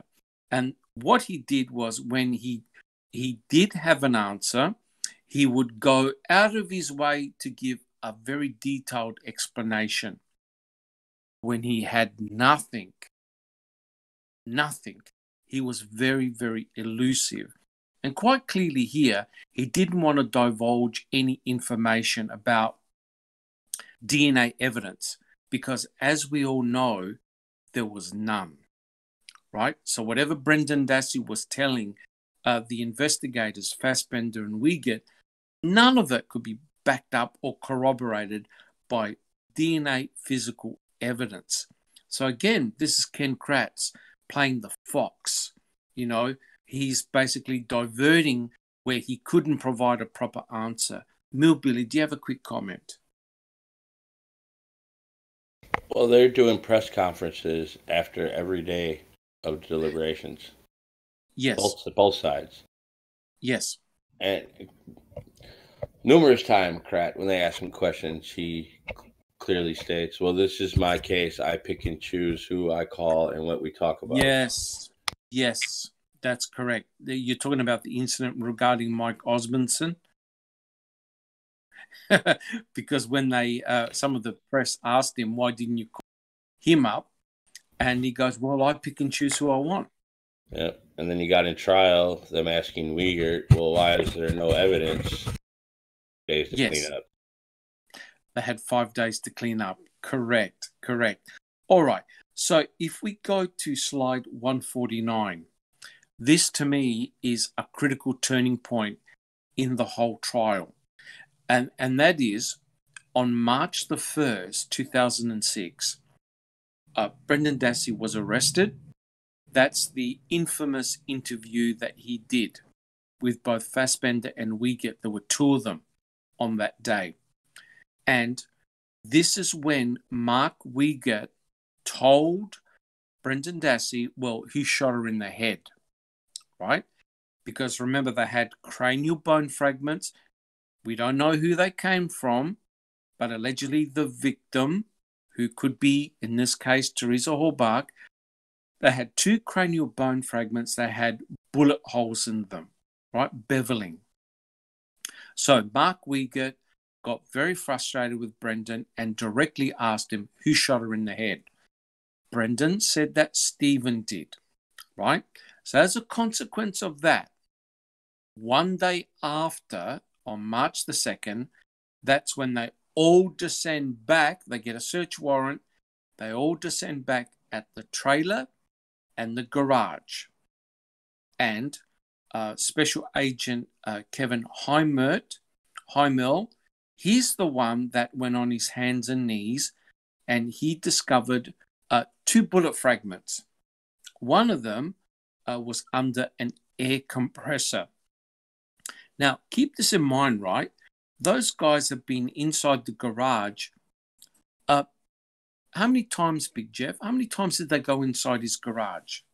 at least two or three uh, for, for for other searches. Uh, I, I wanted to point out that you can actually see a picture of the air compressor uh, in the new photos uh, when it was searched prior to Brendan's confession uh, during the uh, in, in, the- in the in the takeover of the Avery salvage yard shortly after the discovery of the Rav. And There's a flashlight right- fragments? I, I wanted to, see- you know, my, my eyes aren't that good. I wanted you to take a look, but there's actually a flashlight on the ground, uh, or Yes. a torch, as you might say, pointing underneath the toolbox that's just to the right of the air compressor. Uh, and you can see very clearly under the air compressor. I don't see a bullet there, but my, you know, my, a bullet fragment. Yep. Uh, but somebody No. with better eyesight than me might uh, be able to do that. Yes, I was going to comment on that. And that goes to show how important those photographs are. There is no bullet fragment on the ground. Yet, when they come back, when the investigators come back on March the 2nd, lo and behold, um, Special Agent Kevin, he gets on his hands and knees, has a look under the air compressor, bang, they find item FL, a bullet fragment. And lo and behold, uh, Big Jeff, do you have a Yeah, I just was curious if anybody was aware who might have signed in uh, on the day before that to the to the garage and had to write his name kind of off to the side because you know as if oh oh I didn't sign in. Anybody want to make a guess who that was? Well, uh, let's have a look at slide 150. well, of course, of course, uh, Detective Dave Remiker was questioned um, during the trial, and he had to admit, he had to admit that on March the second, uh, lo and behold, who was there? But Lenk. Now you think about this, right? Lenk should never have been on the Avery salvage yard in the first place. Yet months down the track, Lenk is back there in the garage. Can anyone tell me why Lenk is there? Anyone from the panel who would like to make a comment? To plant the bullet. It's a big Jeff. It's it's very important for him to be there right before any key piece Eh, of evidence is That's how it goes. Manitowoc plants it, Calumet finds it. well, well, lo and behold, we have um, uh, two bullet fragments found, uh, item FL, and I think the other one is called item FK, which we will talk about in a minute. Now, remember, uh, when Brendan was interrogated, under no circumstances did he ever mention shooting uh, uh, uh, Teresa Halbach at all. All of a sudden, when uh, Wiegert mentions who shot her in the head, it finally comes out that Steven had shot her 10 or 11 times, uh, including at least twice in the head. And they asked Brendan, Well, how come you never disclosed this before? And what did he tell the investigators? Who, who's got an answer? Christie. He couldn't think of it. He couldn't think of it. Um, right, uh, Millbilly. And also, he when they first started questioning him about what happened, he claims that it happened outside the garage. Uh, yes, And they're like, no, no, what happened in the garage? What happened in the garage? That's right. And then and then they started questioning about what what did you do with the car? What did you do with the car? Uh he put the gun in it. yes, No, no, no, worry about that. What do you do? What did you do with the car? Did he did he go under the hood? Did he do anything? They're they're leading him to say things so they can go back and plant more evidence. Because if he would have stuck with her being killed outside, they would have had a huge problem because there's about six, seven inches of snow.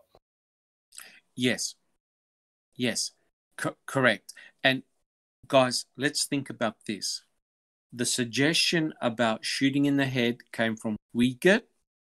The suggestion about where the shooting event took place came from uh, Fassbender, the garage. And the suggestion about going underneath the hood came from Fassbender and Wiegert.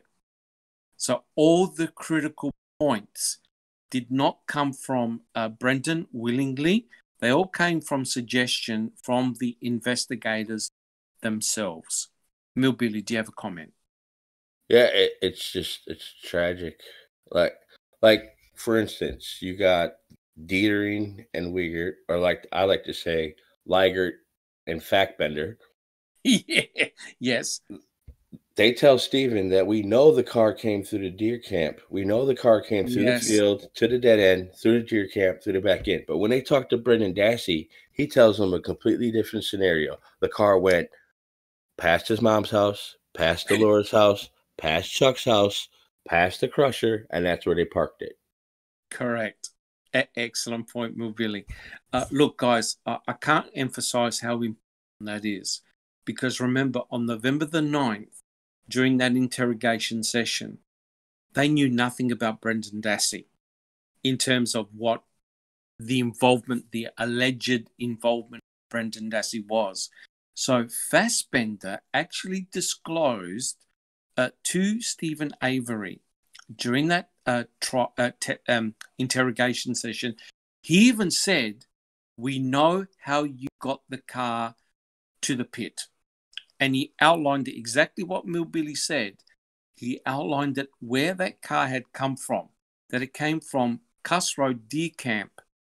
So it came from off the salvage yard and onto the salvage yard. Well, lo and behold, uh, during uh, Brendan's interrogation session, Brendan, that they asked him, "What did you do with the car?" Well, Brendan stated that both him and his uncle drove the car to the pit area. Right? They drove the car to the pit area. If you have a look at the crime scene photographs of the RAV4, what you find on the passenger seat, can anyone remember what you find on the passenger seat? There's a CD, CD case with blood on it, allegedly. Yes. Yes. A Big Jeff. A drop of blood. Yes, yes, and also a drink bottle or drink bottles. So somehow, um, Brendan was meant to be seating uh, in the passenger seat on top of the CD cover uh, with blood on it, on top of bottles, of which Brendan doesn't mention at all. And it's important because, as Millbilly alluded to, Millbilly, do you have a comment? And why why don't they mention finding her registration? They mentioned about going in her glove box and retrieving items from there, but they don't list her registration. Yes, That Yes. should supposed to be kept in your car. Correct. Correct. Yeah, there's all sorts of things which are really uh, don't add up at all. But as Millbilly alluded to, they asked him, What did you do with the gun? Oh, we put it in the car. That can't be right. We didn't find the weapon there. What did you do with the knife? Put it in the car. That can't be right. We didn't find a knife there. And they actually went back to the RAV4 and they looked underneath the seats for the presence of a knife, which they didn't find. Also, they took all the knives from the property, the big knives that potentially could have been used to have stabbed Teresa Halbach. They tested the knives. There was no blood, there was no DNA. So, nothing that Brendan was telling the investigators was corroborated. There was nothing to back it up. But to add the ultimate insult, Fassbender must have known that Brendan was telling him a lie because Fassbender told Steven Avery exactly how the RAV4 came on the property. Fassbender, we get, would have known about Kuss Road and the deer camp. So their suspicions was the vehicle was found there, the vehicle was driven back onto the Avery salvage yard. Yet Brendan was telling them the complete opposite. So Fassbender and Wiegert must have known that that could not have been true. Millbilly, do you have a comment? I have one from chat. Yes, Sammy. Um, Rhonda South said probably nothing, but it's interstellar to me that TH had a napkin around her Pepsi can when the state Mm-mm. of the car overall wasn't very tidy. Any opinions on that from any? Well, the fact that the cherry Pepsi can is also facing the passenger direction, as in if you were drinking out of it, it most likely would the opening would be facing towards the driver's seat, Mm-hmm. but it's facing towards the passenger seat. And Yep. as the fact where the car got on, the dog reports corroborate what they're telling him too, because the dogs don't go through the pit. They actually drive the dogs onto the property on the fourth, park by the wrecker. They start at the wrecker. They go from the wrecker, don't find nothing. They're directed towards where the car is, but the reports from what the dog experts say and what the police say, the police say that they're following them, but if you read the dog reports, the dog reports say that the police were instructing them where to go. Right. But they go and they go around her car. They then take Brutus and put him away. It then starts raining, and then they bring him over by Stevens. Right. So And and somebody on Twitter Maybe. covered that um pop can thing. They said that Pam Sturm seen it in the floorboard, but then yet in the pictures, then it's suddenly in the drink holder with a napkin wrapped around it. They thought maybe somebody from the lab had Yeah. yeah, uh, tested it and then put it in the drink holder and was holding it by a paper towel or whatever. Yeah, yeah, yeah. Basically, if you suspect there to be fingerprints, you want to protect them. So you don't grab the can. You don't grab the can with your hand. You try and wrap it with something. Uh, so here's the problem. I, I don't remember who it was on Twitter, but I Yeah, seen it yeah, yeah, on. Twitter last week. the problem is you can't trust any of the photographs. You don't know whether they're in situ or post processive. And clearly, if you look at the, the blood spot on the ignition, that cannot be due to an in situ blood spot. That's been touched with swabs. Because Yeah. what you do is with a swab is you swab it up. Yep. And like It's- if he was if he was actively bleeding, and Yeah. say his finger did touch that, why aren't there drops below it? Correct. Correct. Uh, correct. It doesn't make any sense at all. If you're you're either actively bleeding or you're not, you can't be selectively actively bleeding. That's why that that's that's why that's why the inside of the RAV4 is a dead giveaway for a setup. It's as though someone had opened up the passenger door, uh, the driver's side door, leant in with a dropper, and just simply put drops of blood in the RAV4. But a drop of blood was placed on the passenger rear door where the fender is. I wonder why that was done.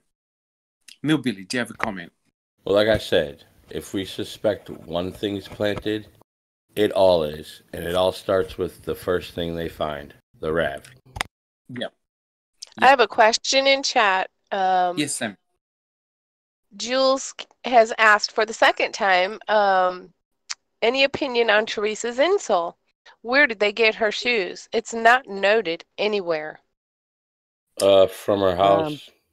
Yeah. They were uh, a handful of cops, well, two handfuls of cops were in and out of her house 135 times over a three month period. I think but it was mostly- actually it was actually more than that. Probably, but it, I had I had record of 133 of them, and then I found two times in the CASO where they were there and had copped to be in there, but it wasn't in that list that I had. So that gave me two more right there. Um, Yeah. yeah. So And they were right, in and yes. out of her house plenty of times, and And and in it- my opinion, they also took a bunch of stuff that they wouldn't have normally been taken from Carmen Boutwell's. and if you read those those logs, why are they storing evidence at a public storage unit? Yeah, Yeah. right. Uh, Yeah. Probably for the same reason that all of these people have no problem getting up on the stand and taking an oath and then lying while they're under oath. Well, they Yes. li- they lied on the search warrant. Yeah. That that That's right. Yes, uh, and you're right. They did use the insoles of a shoe uh, for the scent, and that's very important because if you have a look at the dog tracks, uh, and plenty of people have done some excellent research on that, the dog tracks predominantly are off the Avery salvage yard, not on it. And you, you've got scent cadaver dogs. They do these big loops, uh, and uh, correct me if I'm wrong, but one of the dogs was actually prevented from crossing yes the yes police tape. that's Luke. And- Absolutely. And, and come to find out, there's over thirty something pages from the dog reports that Zellner has. We only Yes. have like three. right. Yep. Okay. Mm. Okay. So those dogs, those dogs were basically following a scent. Uh, and you can see that the trails Oh. that the dogs were going on were off the salvage yard, Yes, predominantly sta- off the salvage yard. states that Loof was on an intense track Yes, and it try it goes it's heading in Kuss Road direction, following the, the berm or on the field or on the fence. Correct. Gets correct. to the barrier tape, tries to go past it, and they tell the handler, keep the dog back. Right. They send Loof away for some odd reason, and Yep. then they bring him back. And the handler states that going over the same area, her dog indicated that something was not right. Yeah. Now, Yeah. my interpretation of what that means could be anything. Like what she's trying to state that the the scene had been tampered oh, with, or Yeah. Something. Well, obviously, they go from that spot with the dogs through the deer camp, through the quarry on the queue. Yeah. What were them Yeah. dogs following? Yes. Yeah. Uh, but the other the other disturbing thing, if I could just say it, guys, was the extensive region that the dogs went around. It wasn't localized. It was a big area, right? And if they're following, what are they following? The where the Rav4 went, where Teresa's body went. There's something not right here because it It- a it's like- area. It's like Loof followed the scent of something that was leaving that area, and Yes. then they brought in other dogs and they followed the same track, and then that's Yes. when they started finding other bones. Correct. Correct. Yeah. So really, it really boils down to what really was found at um, the deer camp Kuss Road. And the photographs that I really want to get my hands on are the pile from H1 and H2, where Kaczynski actually mentions body dig site measurements. Yep. And why do we why do we have on the back of these dog reports that we have photos from from the searches because they Yeah. broke into four teams? The front page says they wrote Jambo Creek. But on the back pages of both them reports, one's in black ink, one's in red ink, they both say they have a list camera, clothes, cell phone, Samuel Yeah. Harry plates, restage Kuss Road, watch for traps. Yeah. Or is it did they meant to say tarps? possibly. Possibly. Jul- Jules is asking, was it a cadaver dog or scent dog that hit at Chuck's and and Kuss Road? Uh you'd have to ask Braun about that because she's done a lot of work. Yes. I'm pretty sure the Chuck's was a cadaver dog.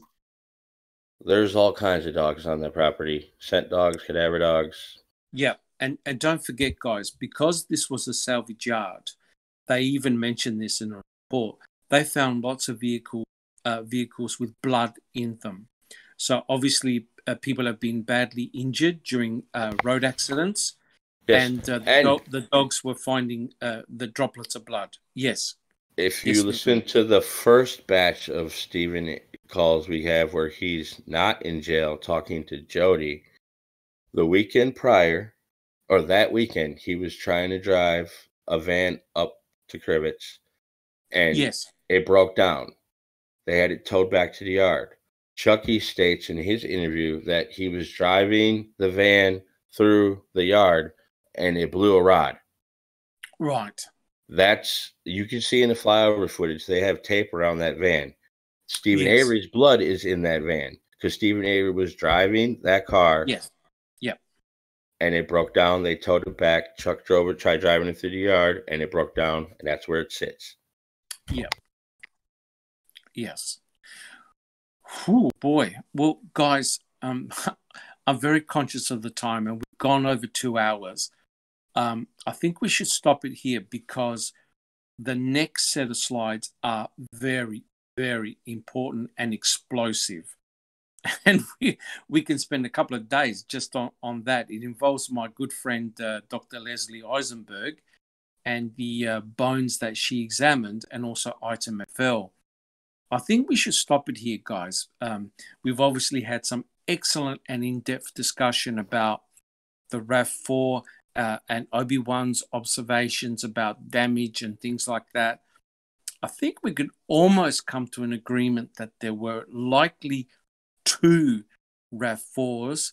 I'm pretty comfortable with a hybrid RAV4.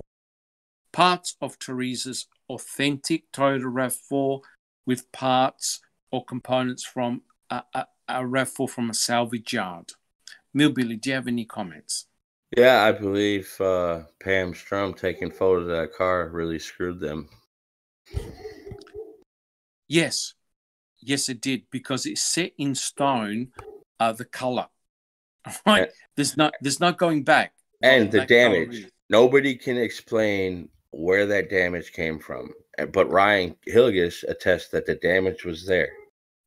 Yes, And they ask ev- if it wasn't not important, why do they go back in 2017 and review, interview all her friends and everybody they ask, was the damage there? Was the damage there? They all say no.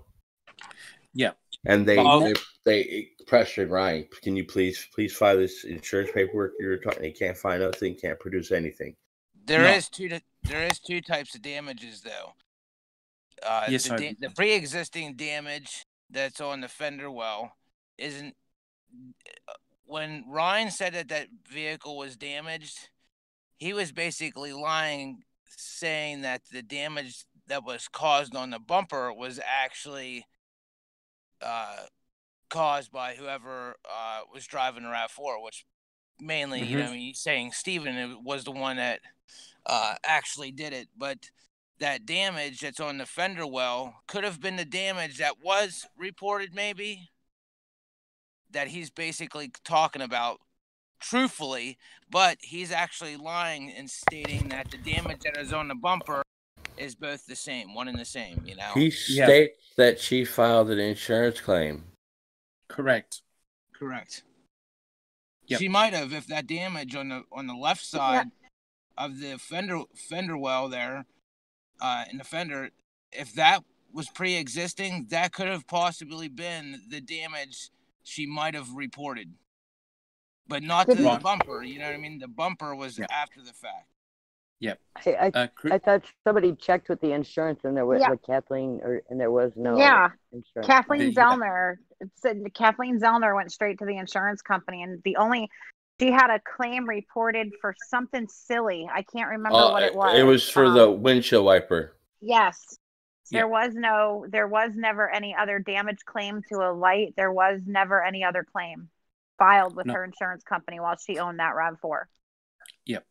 Yeah, but the other important point to mention here, guys, is that whoever caused the damage to the light stopped and picked it up.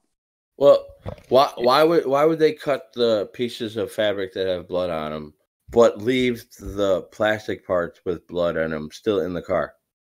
Why wouldn't they take that out to preserve that as evidence too? Why would they let Yeah. it sit there, sit in the car, and just deteriorate? Yeah, yeah, very, very good question. They could easily Uh-huh. take a, they could have easily taken a Dremel model to cut that plastic piece out. Yeah, correct. Whole saw. Yeah, I'm talking and about the the, other. spotter. I'm talking about the spotter on the dash. Yes, right. They could they could easily just take the panels off the back and pull them off. yes, they can. Why why is the carpet untucked on the right side but tucked in on the left? Is that in the cargo area? Yes. Well, yeah. Why, why does it why Importantly- why does it look when the when the the you have the photo of the light underneath the seat of the Rav? Why does it look like the Yep. seats aren't even connected? Yeah, Why do we have photos when it's in the box? You can see into the car and it looks like there's black plastic over the back seats and they're up. But all the other mm-hmm. photos they're folded They're down. down. they're down. Correct. That that's why, unfortunately, guys, you cannot trust any of the photographs. you don't know. uh, what, yeah, I, I just want to say this. I'm not. I'm not. I'm never going to stop saying this until somebody can prove why this happened. I don't us, man. care. I don't care why the hole's in the door handle or how the hole got there. My question is, why in the hell is it gone in another photo? Yep, I can't answer that. Because it And, uh, didn't yet exist. That's why. oh well, well, you see, Pam of God, whoever took the photographs, showed. It's there, November fifth. When we see photos of yep. it in the box Yeah. a year later, Yeah, it's gone. yeah. Those So- photos were taken before it was planted. Well, that's one way, Hmm. or the other way is that they changed the door handle. The photos are timestamped, buddy. Yes. Yeah. Anybody can swap uh, f- uh, the date. They can they can mess around with the date to reflect a different time period. Yeah, I mean that that's a mis- Yeah, but that's them them photos coincide with them giving the bones back too. yes, I Yeah. think I think when they have the, when you see them photos of them going through the bones, that's them picking out determining which ones are human so they can give them back to the Halbachs. yes, yeah.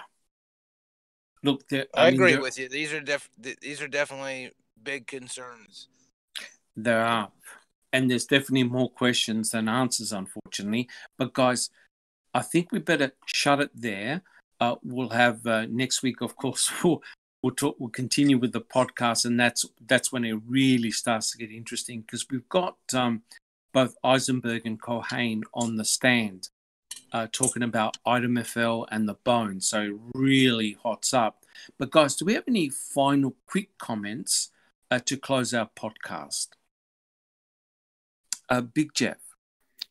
People who don't have anything to hide don't continue to hide things. Yeah, that's a very good point. Uh, anybody else? A BB. If you want, you can join us over at Discord and talk with us on uh, the phone over there. And uh, other than that, enjoy your weekend. Thank you. Uh, and Millbilly, do you have a quick comment? I just posted the link to the Discord channel for Foul Play. Oh, So, excellent. so if you want to continue talking about any of this, feel free to join us. excellent. Obi Wan, Just want to thank you for having me. It's been a pleasure.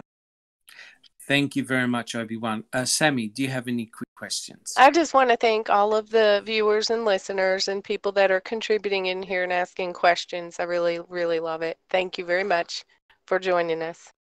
Yes. Uh, Christy, a, a quick comment. The same. Thank you, everybody, for joining us, and join us again next week. Yes.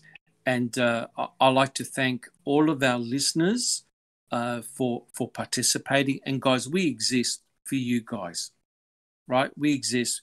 Uh, we appreciate the comments. We appreciate the fact that you listen in to us, provide suggestions. And I also like to thank uh, my STEAM panel. Uh, we're very, very fortunate to have uh, a special guest today, Obi Wan, and also our regular uh, panelists with their vast and extensive knowledge. And guys, I like to echo again uh, the excellent work and presentations done by Big Jeff, Millbilly with his YouTube channel, who's uh, gone to a lot of effort looking at uh, photographs and the calls. I believe that we're getting very, very close to exposing the the, the serious shenanigans done by uh, the state and and and the and the cover up that continues. Uh, Kathleen Zellner is well aware these happenings that took place at Kuss Road. Um, it'll be very very interesting to see the approach that she takes in uh, if she gets in front of a judge. It'll be very very interesting. Millbilly, do you have a, a final? Uh, just the more we get, the more we learn, Yes, yes. the more Uh, Steven looks innocent. No question. If you have a look at all the times we've been doing our podcast, our fingers of blame don't point towards Brendan nor Steven. We're, we're always looking outside. Uh, and uh, it's very interesting listening to the phone calls that Christy has analyzed. They're not, they're, they're not dumb. No. The family knows that they're being set up and they can't do anything about it. Uh, Obi Wan, uh, a quick comment.